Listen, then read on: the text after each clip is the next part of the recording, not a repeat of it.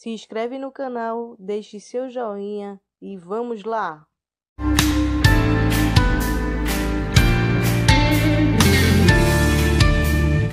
Olá, tudo bem com vocês? Espero que esteja tudo bem. Mesmo se não estiver, lembre-se que é só uma fase e tudo ficará bem. Tire aprendizado de tudo. Você está vendo o número 52 em qualquer lugar.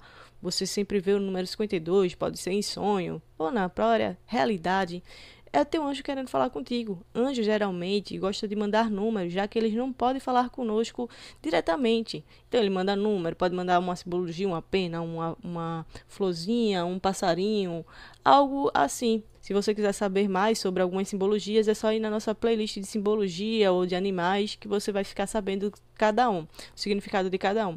Então vamos lá. O número 52, o que significa? Significa que você está lutando lutando porque alguns seus relacionamentos não está bem. Algo se fechou, algo não está equilibrado. Então teu anjo quer te dizer, você não está sozinho. O número 52 significa que você precisa se controlar, precisa ver como estão seus relacionamentos.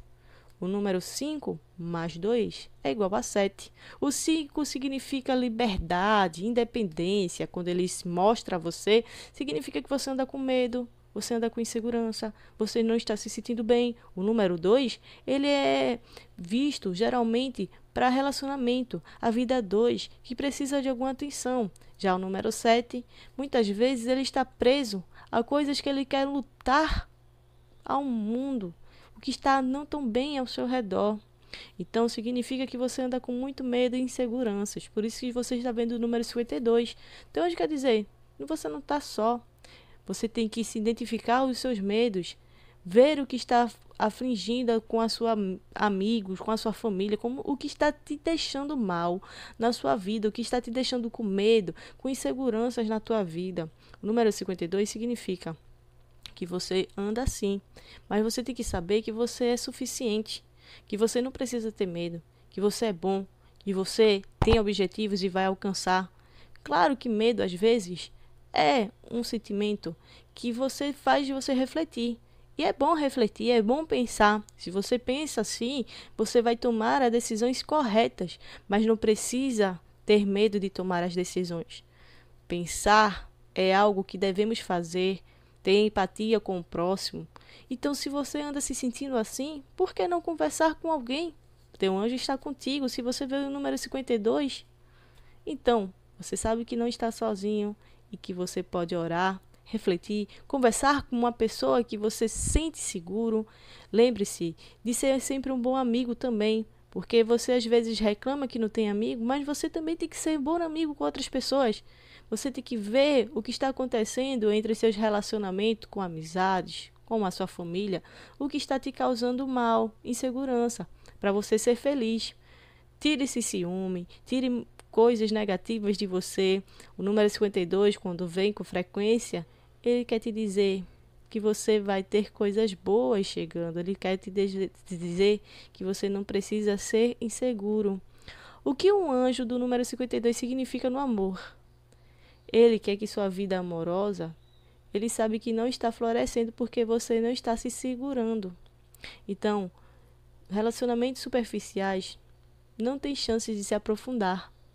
Talvez você não goste de mandar uma fachada que mostre que sua vida está bom, mas algo está te incomodando.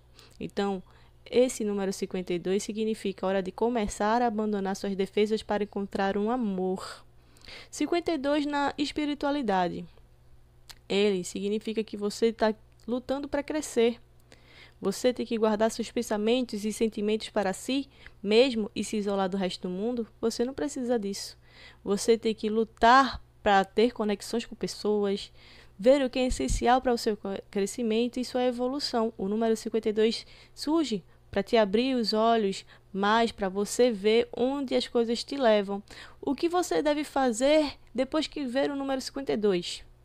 Número 52 tem onde quer dizer Veja como está seus relacionamentos, tire as coisas superficiais, tente se conectar mais com as outras pessoas, tire seus medos, sua insegurança, pense, repense, reveja como está a sua vida, tenha um modo melhor de se comunicar com a família, ser mais claro, ser mais amoroso com a sua família, com seus amigos e tenha um relacionamento melhor. Não relacionamentos de fachada, relacionamentos que não são seguros.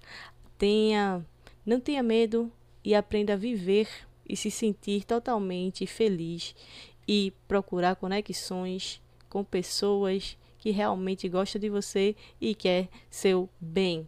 Se você gostou do vídeo, é só se inscrever no canal, curtir, compartilhar, deixar aquele seu joinha, porque assim você vai estar ajudando o canal a crescer e cada dia mais fazer novos vídeos para você. Obrigada e até o próximo vídeo. Valeu! Inscreve no canal, curta, compartilhe, deixe seus comentários. Assim você vai estar ajudando o canal a crescer.